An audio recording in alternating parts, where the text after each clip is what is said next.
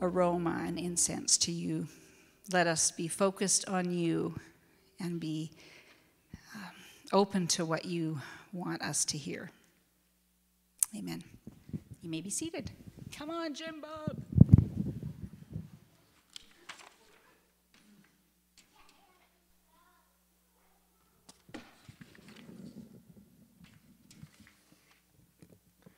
Good morning, Hope. Uh, welcome on this glorious day of worship and praise to what God has got for us here today. Um, okay, so I guess we'll just jump straight down to, because Heidi's going to speak. You're- You're preaching today, yeah? Oh, awesome. Okay, okay. okay, yeah, because I, I didn't get the okay to just, Jimmy, you got it all today. That's it, just, just go with it. Okay, uh, July 13th at 10:30 a.m., we've got 50 plus Summer Soul Connections. Uh, join us at Hope for fellowship and devotional. Coffee and muffins will be provided. Um, normally, you guys will have to come here and bake them yourself, but no, we're going to provide them for you. That's good. Uh, July 16th, we're going to have a tailgate party. That's going to be at 6:30 p.m. Uh, those are always so much fun, weather permitting. Please, Lord. Uh, join us in the Hope Church parking lot. Bring your own food and drink, and everyone is welcome. Uh, that's that's pretty much all the exciting news that we've got. So we've got a, couple additional announcements from uh, Ian Eigenram as well as Pastor Matt. So we'll have Ian give us the bad news first. Or maybe it's the good news. I don't know. But, but yeah, okay. So just a brief uh, update on our current and yearly finances at Hope. Um, In May, we received $26,500 in offerings. Uh, That brings our yearly total to 114,500. And this is for the end of May. We were projected to be at 153,000 of our $390,000 budget, which we were 25% below projections. So on average, if you look at your bulletin, you can see the monthly average budget is 23,500. Um, However, in the first half of the year, we often receive a little less than half, about 46%. So um, our cash available has been trending down, which is typical, uh, but we're still above our two-month baseline of 60,000. So we're still floating. Um, On a positive note, our expenses at the end of May were at 26% 6% of our annual budget, which is 6% below what our five-year average has been, which has been 32%. So that's the good news. Um, and we continue to make uh, monthly mortgage payments, albeit the exchange rate hasn't been favorable lately, so that's a snapshot.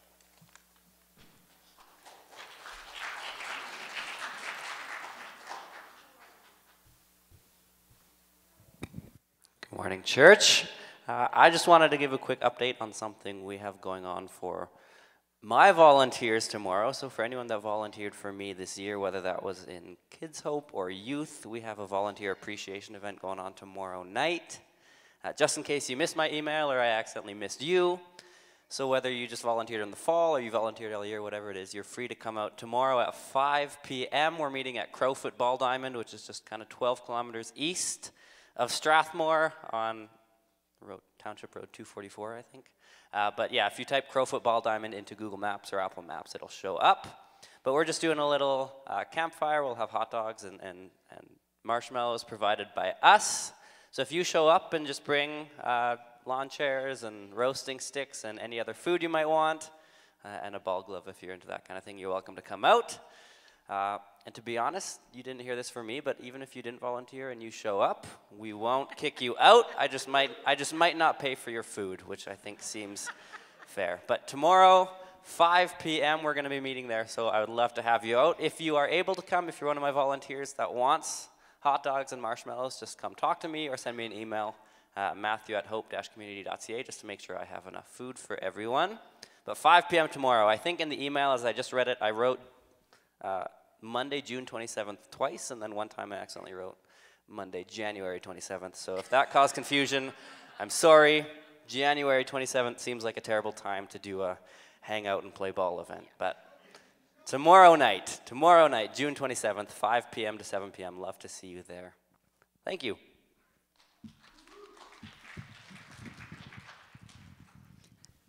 I'm not one for winter hot dog roasts, but you never know.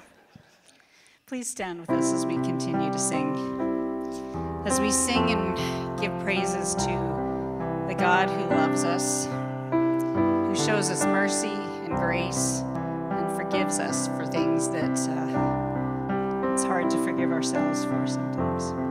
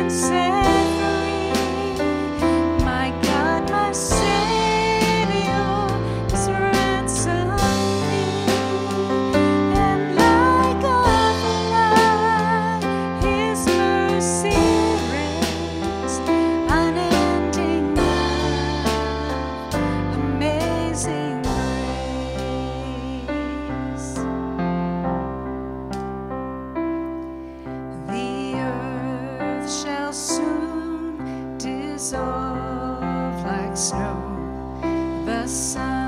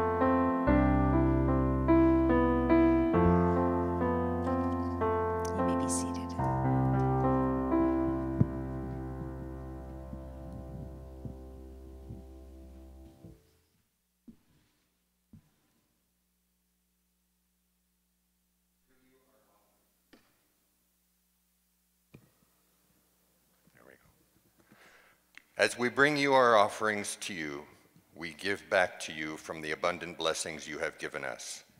May our gifts be acceptable in your sight, O Lord our God, blessing and glory, wisdom and thanksgiving, honor and power and strength be unto you our God forever and ever, through Lord Jesus Christ.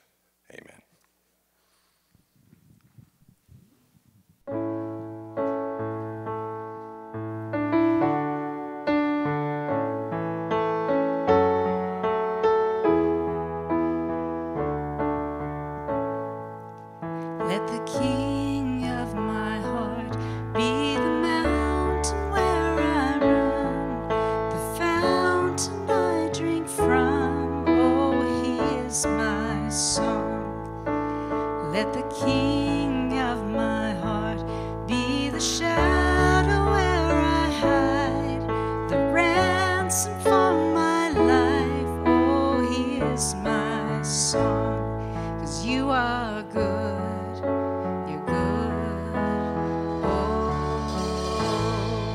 you are.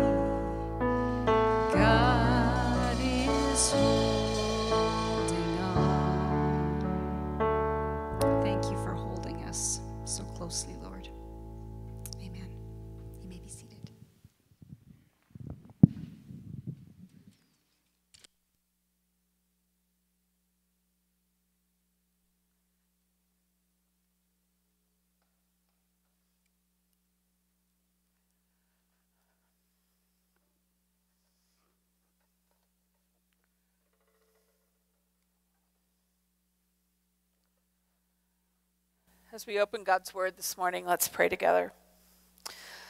Loving God, we come from many different places and have had many different experiences this week.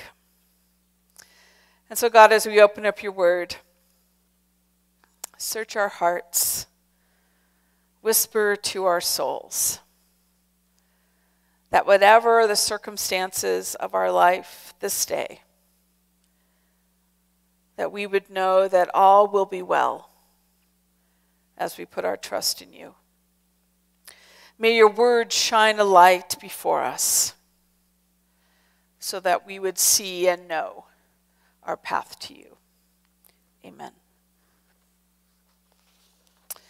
I've read the passage for this morning numerous times at funerals because Paul's words give comfort in the face of death. And they remind us that there's nothing in all of life, not even death, that can come close to tearing us away from God's presence and God's love. But death isn't the only bad thing that happens to us. Cancer comes and our bodies fail us in any number of ways.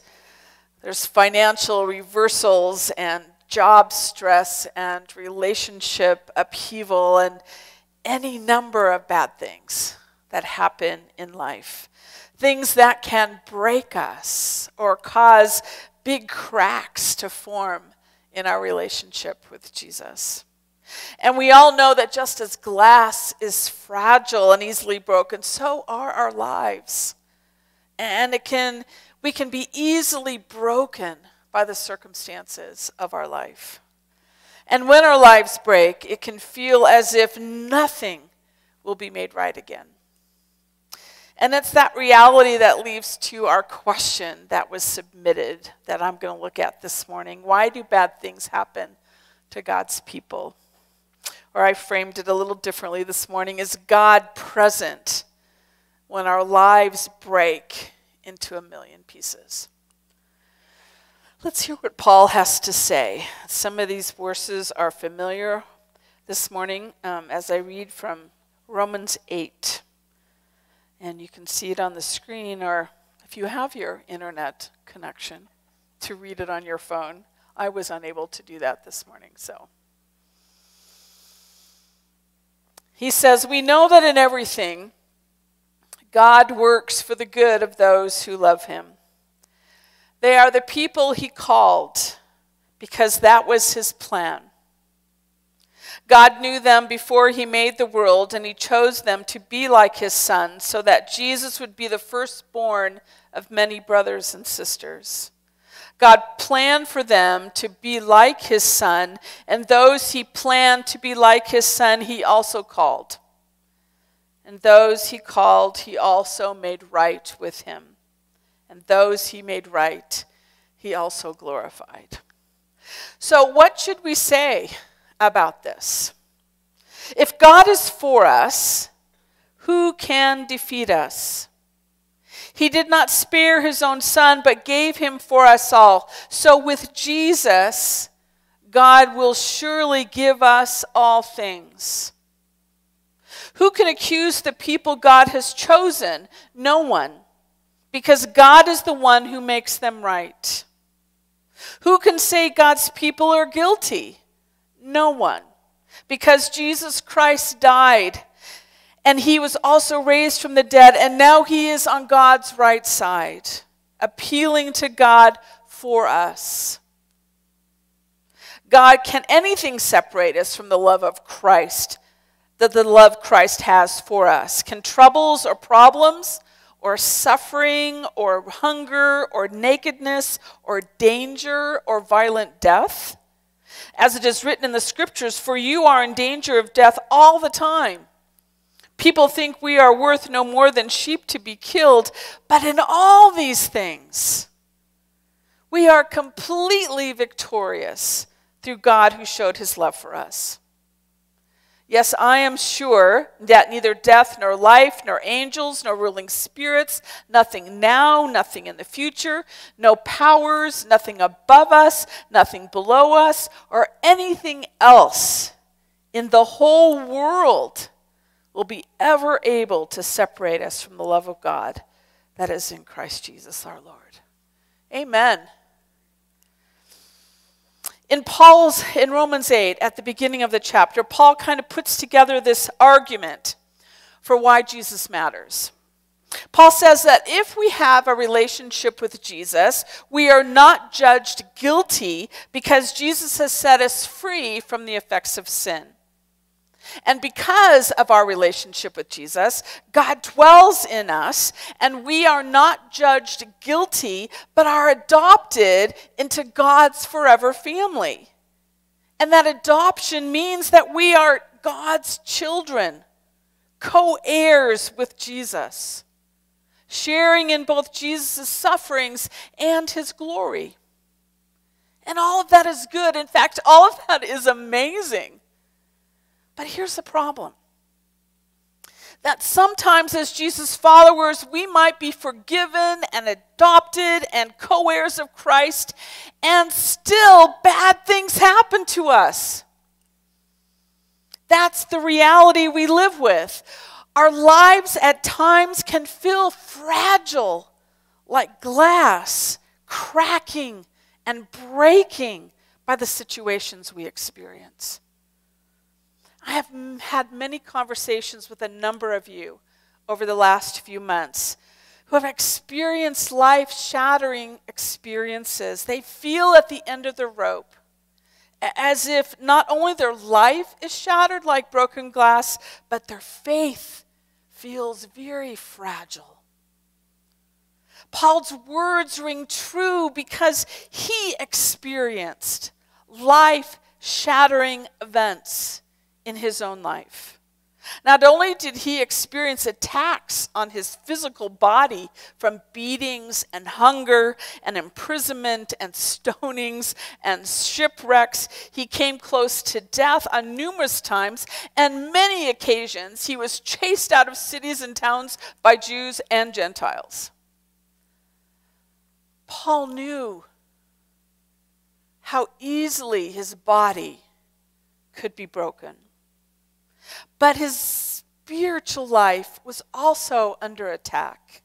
There was false teachers in the churches that he had started that contradicted the gospel that Paul was preaching. And on numerous occasions, he himself faced uncertainty about God's purposes for his life and his ministry. Paul's words in these wor- verses that are not just academic, they are written from his own lived experience. Paul suffered and he came close to breaking. And he even talks about this idea that, and this reality that he had a thorn in his flesh. That was a persistent challenge in his life. And from whatever reason, we don't know why, Jesus didn't ever take that challenge away from him.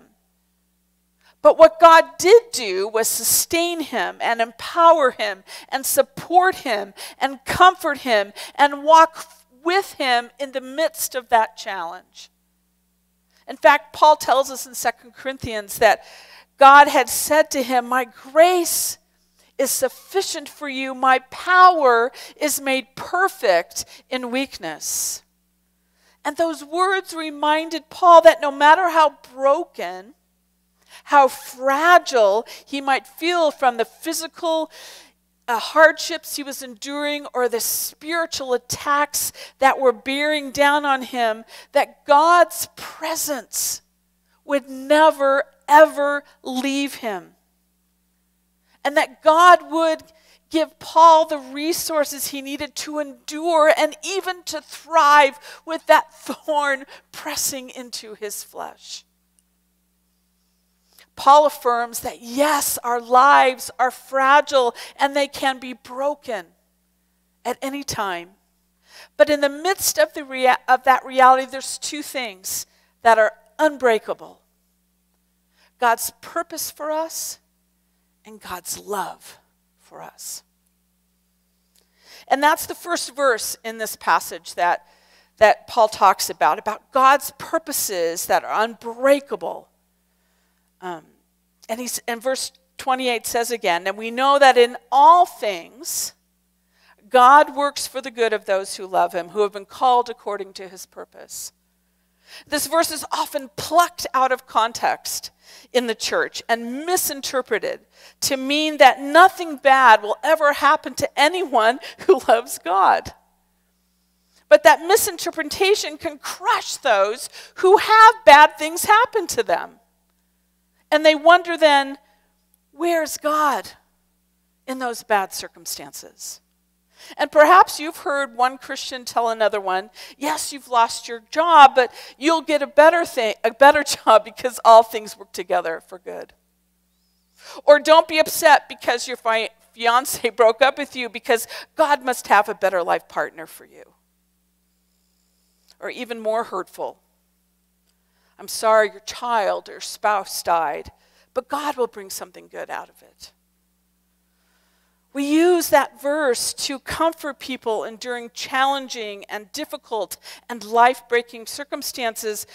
We want to think that God will take the bad and make it good, but I don't think that's what Paul is saying in, these, in this verse.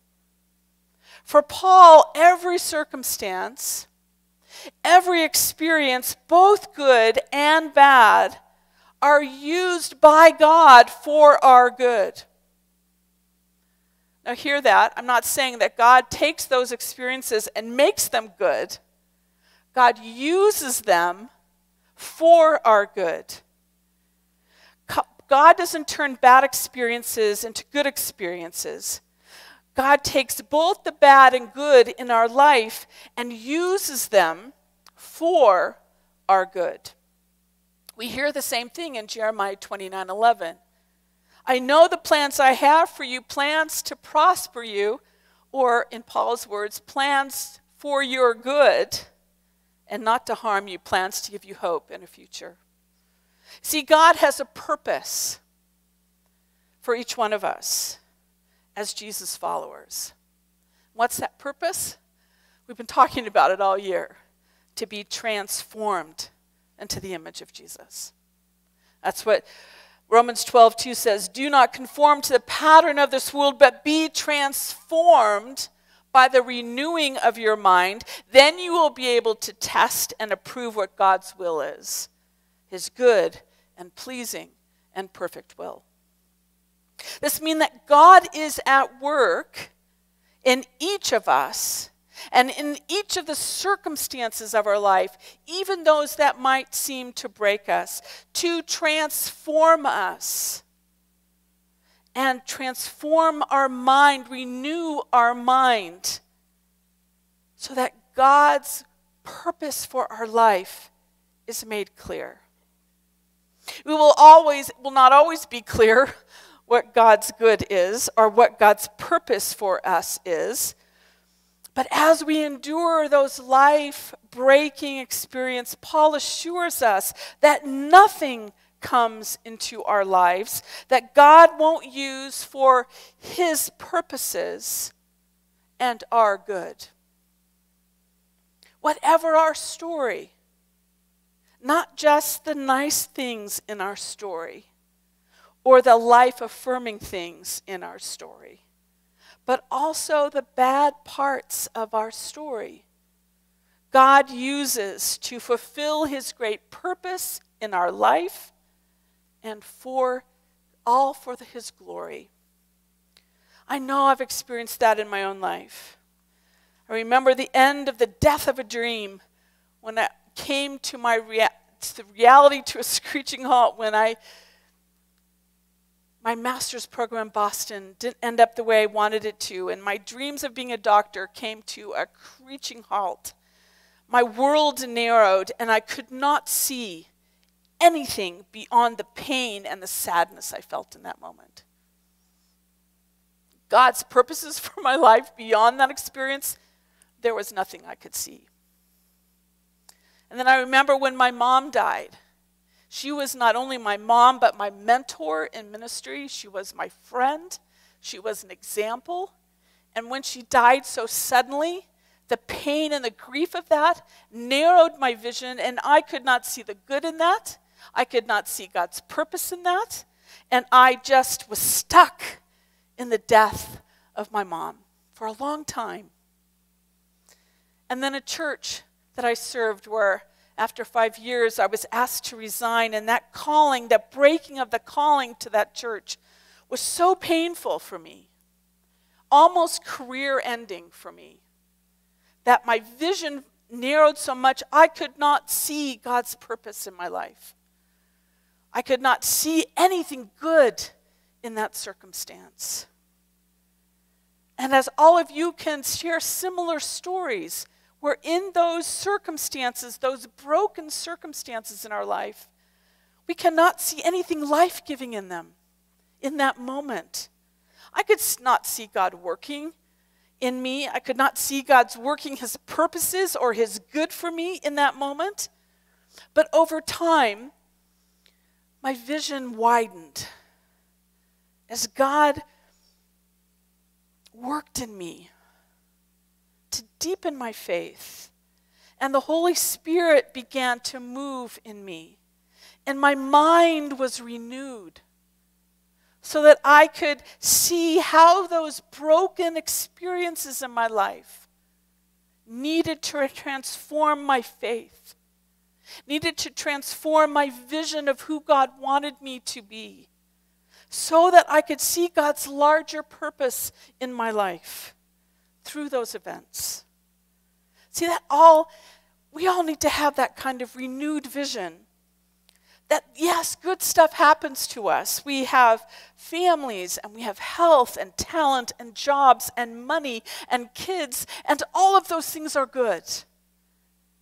And God has brought them into our life to use them for our good and for His glory. But I say, in the same way, we also need to see that the bad things that happen to us death of a loved one, illness, financial challenges, loss of a job, failure of any kind in the same way, God wants to use those for our good and His glory. Bad and good.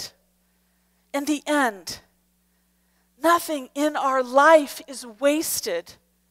God uses it all, good and bad, for our good and His glory. And isn't that exactly what happened to Jesus on Good Friday? That bad things happened to Jesus. He was betrayed and deserted by his friends. He was illegally convicted and mocked and beaten and killed, and nothing good in any of that for Jesus. But God worked all the bad that happened to Jesus. What? For our good and his glory. In the end, it was Jesus' brokenness on the cross that transformed us and made us whole. And because of the cross, everything that happens to us, everything, the good as well as the bad, as well of those really hard things that break us, they will be used to accomplish God's purposes in our life because God's purposes for you are unbreakable. But that's not all. Paul also tells us that God's love for you is also unbreakable. In his book, By Grace Alone, Sinclair Ferguson identifies four major fiery darts that Satan uses to unsettle us and rob us of our insurance and our peace in our relationship with Jesus. One dart is that God is against you. In fact, how can you believe in God when bad things happen to you?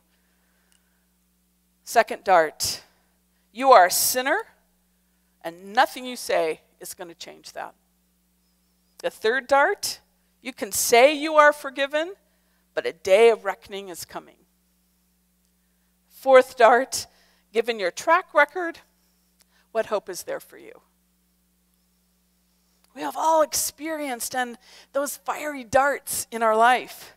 Darts that get stuck in our brains that tell us that God has gone into hiding, that He is deliberately avoiding us because we are sinful.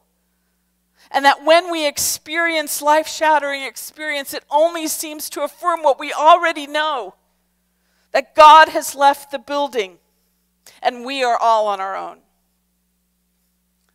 But after Paul tells us that God's purposes are for our good and for his glory, he says we will not be broken and our life with him will not be broken. Because God is not absent. God has not gone into hiding, even in the midst of the most difficult, challenging, life breaking experiences that we have. God has not left the building. In fact, God is with us and will be forever and always for us. And because nothing, absolutely nothing, can remove us from God's love.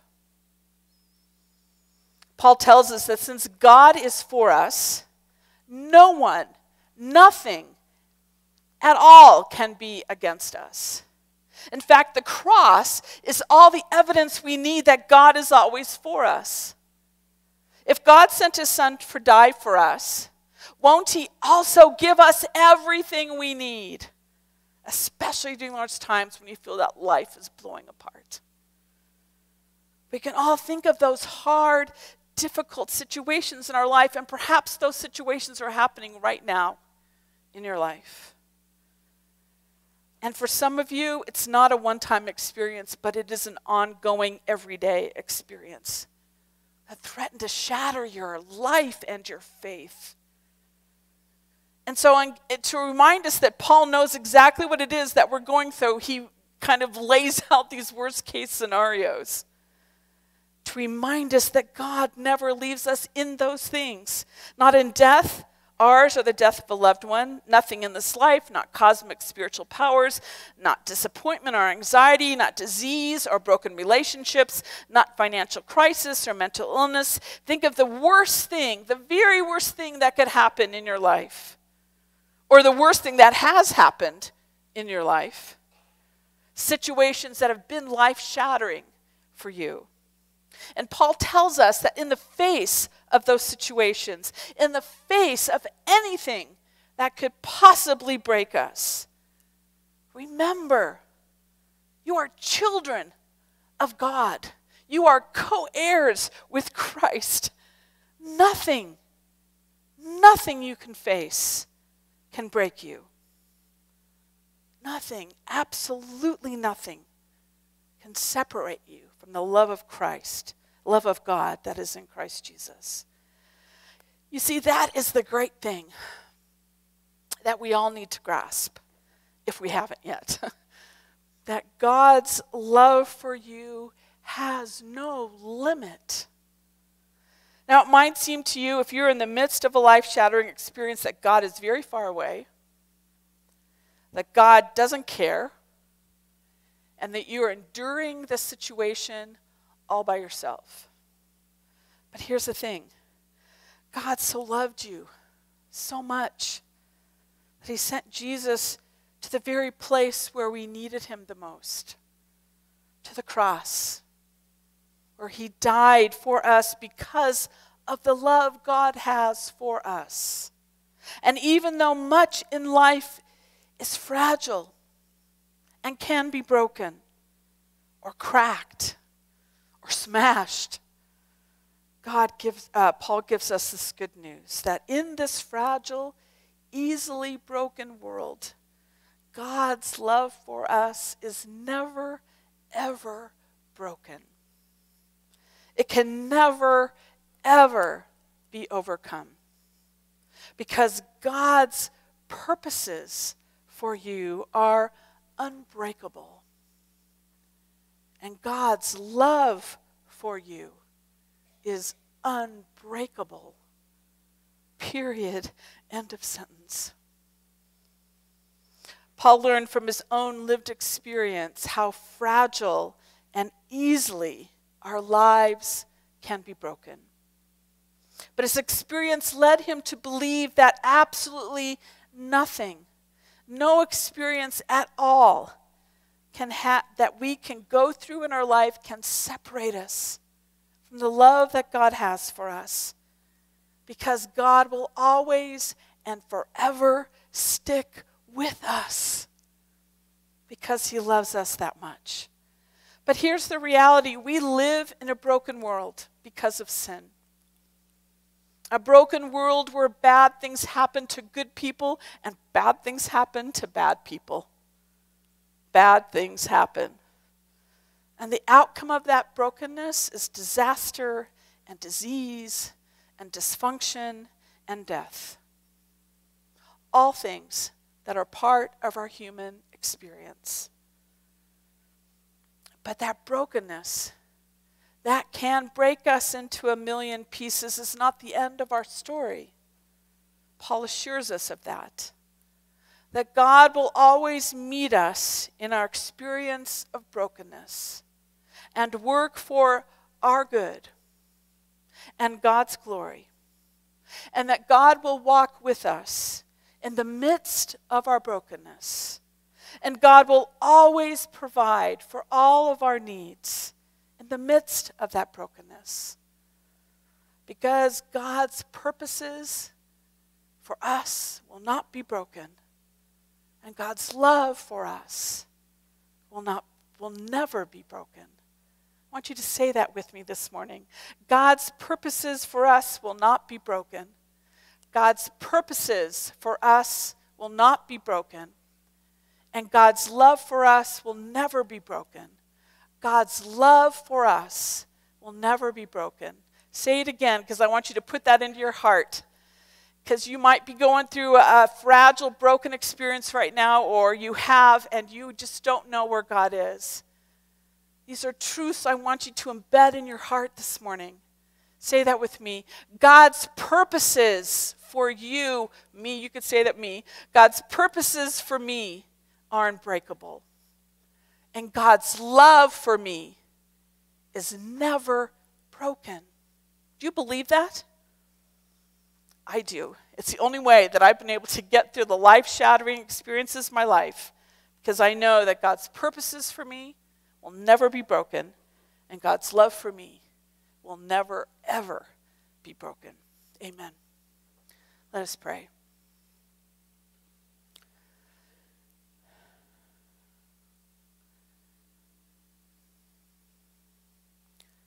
God, you are our refuge and our strength in times of trouble. You are that sure foundation that we stand on that will never be moved. No matter what happens in the world or what happens in our life.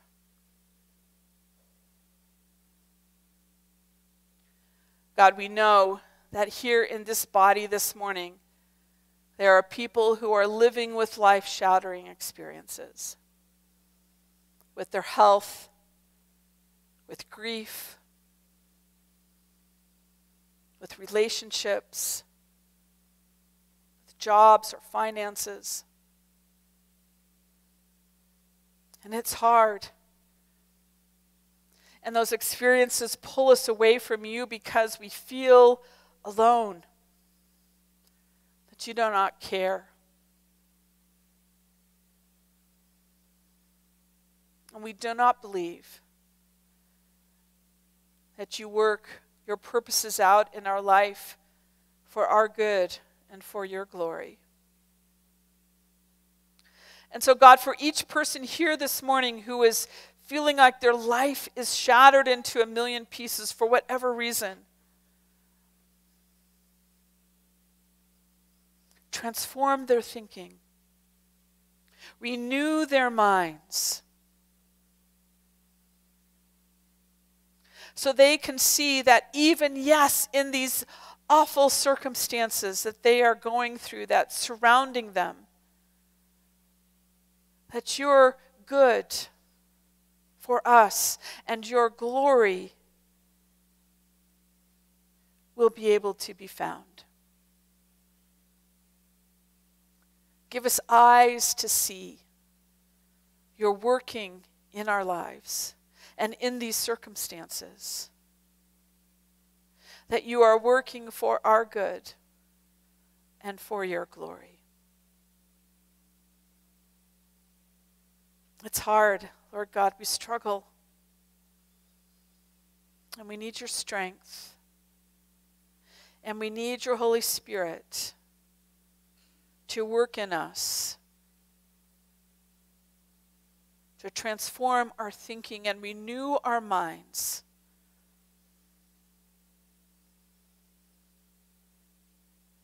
So we can see that you are working for our good and for your glory, even in the midst of life shattering experiences. For God, this is what your word tells us, and this is what we need to embed into our hearts this reality that your purposes for us are unbreakable, and that your love for us will never, ever be broken. Thanks be to God, who is Father, Son, and Holy Spirit. Amen.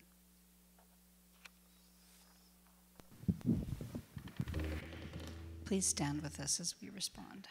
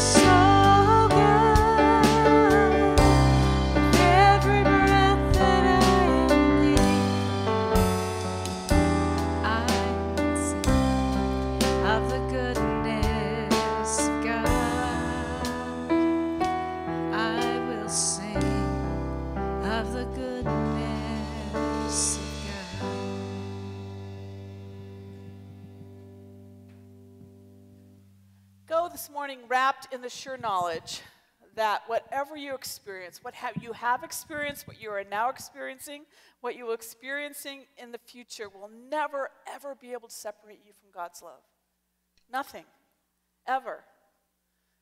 So go with this embedded in your heart that God's purposes for you are not, will not be broken, and God's love for you will never, ever be broken. Amen.